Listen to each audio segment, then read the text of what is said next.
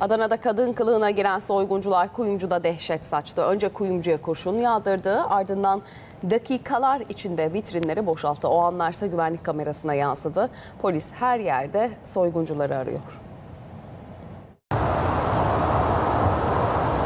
İkisi de kadın kılığındaydı. İki soyguncu kuyumcuyu vurdu. Altınları çantaya doldurdu. Alarmın çalışmasıyla kapı kilitlendi. Soyguncular kapıyı kırarak kaçtı. Adana'da kuyumcu Osman Bol Hocaoğlu müşteri bekliyordu. Bu iki soyguncu içeri daldı. Girer girmez ikisi de silahlarını çıkarttı. Kuyumcu kendini yere attı, alarma bastı. Soyguncular da tetiğe bastı. Kuyumcu kanlar içinde kaldı.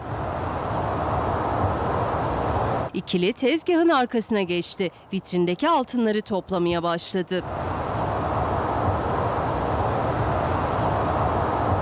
Soyguncular altınları aldıktan sonra kapıya yöneldi. Kuyumcu vurulmadan önce alarmı çalıştırdığı için kapı kilitliydi.